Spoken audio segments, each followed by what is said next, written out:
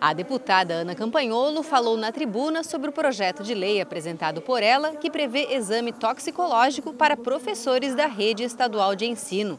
A proposta altera o Estatuto do Magistério Público Estadual.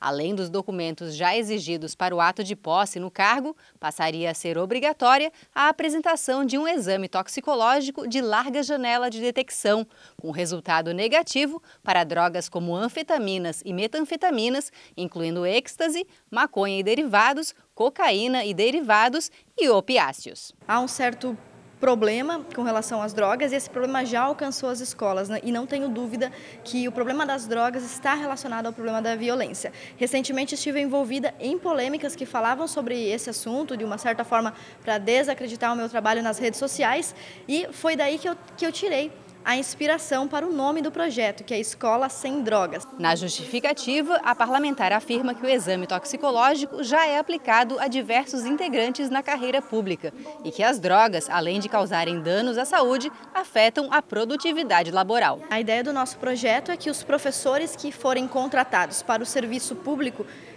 para o magistério, sejam eles professores de nível superior, professores universitários ou professores de escola estadual, que eles apresentem junto com o exame admissional um exame toxicológico que prove que eles não são usuários de drogas. O projeto de lei ainda precisa passar pelas comissões de Constituição e Justiça, Trabalho e Serviço Público e de Educação antes de ser levado para votação em plenário.